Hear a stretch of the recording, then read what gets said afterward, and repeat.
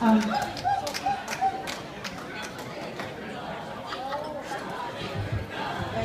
Gandhi lives in Chicago, but he makes an effort to be here. Uh, good evening, everyone.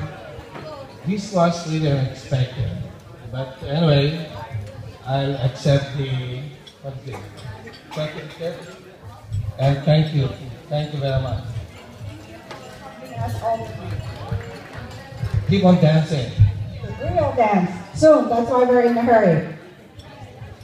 All right, everybody wants to go dance. Um, next one goes to, I mean, this, this party this evening.